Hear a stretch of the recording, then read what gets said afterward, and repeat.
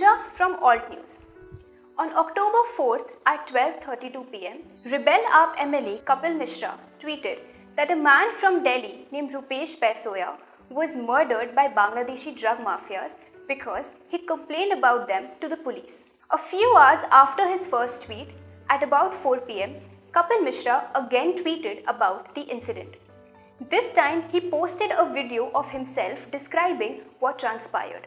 Rupesh Baisoya हमारा भाई अपने घर के सामने अपने छोटे छोटे बच्चों के साथ खेल रहा था। तभी दो बांग्लादेशी ड्रग माफिया के लोग वहाँ आते हैं और रूपेश को गोली मार के चले जाते हैं। क्या कसूर था रूपेश बेसोया का? केवल एक कसूर था कि तैमूर नगर के आसपास की जो बांग्लादेशी बस्ती है, वहाँ पे जो ड्रग का धंधा खुलेआम चलता है, ड्रग की मंडी जहाँ पे लगती है This video was posted by Kapil Mishra on both his Twitter and his Facebook page.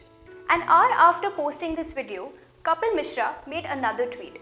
This time he wrote that he visited the family members of the deceased and he again reiterated that Rupesh Baisoya was murdered by Bangladeshi drug mafias. Following the claims made by Kapil Mishra, a CCTV footage of the alleged incident that occurred in Taimur Nagar in Delhi was viral on social media.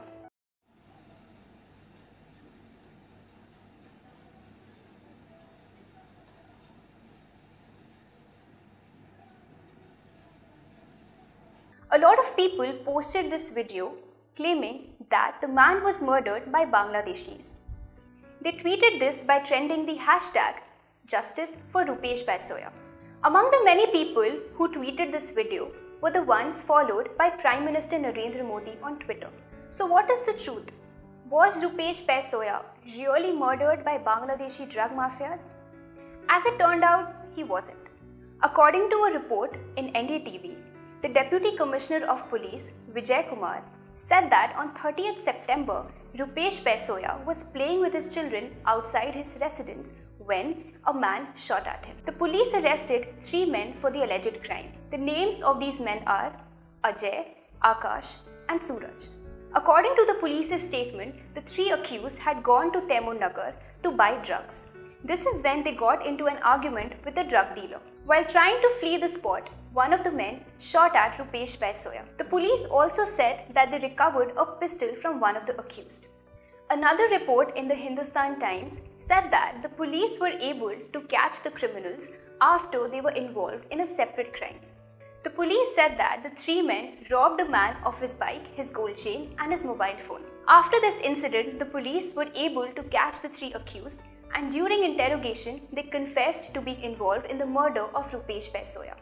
When Alt News spoke to the DCP, he told us that the third person who was arrested, Suraj, was not directly linked to the murder but was an accomplice. An October 2nd report in the Indian Express mentions that Rupesh was vocal about a rampant drug problem in his locality. He had also filed several complaints to the police regarding this. However, this report, like all other media reports and the police's statement, does not link Rupesh's murder to Bangladeshis. Despite all the evidence available on ground, Kapil Mishra made a serious allegation on camera. Recently, there has been a noticeable increase in the animosity against alleged Bangladeshi infiltration in the country. In such situations, it was the irresponsible for Kapil Mishra to make unsubstantiated claims which were nothing short of fear mongering. Even after the police's statement, Kapil Mishra has not taken down his video and neither has he issued a clarification on the false claims.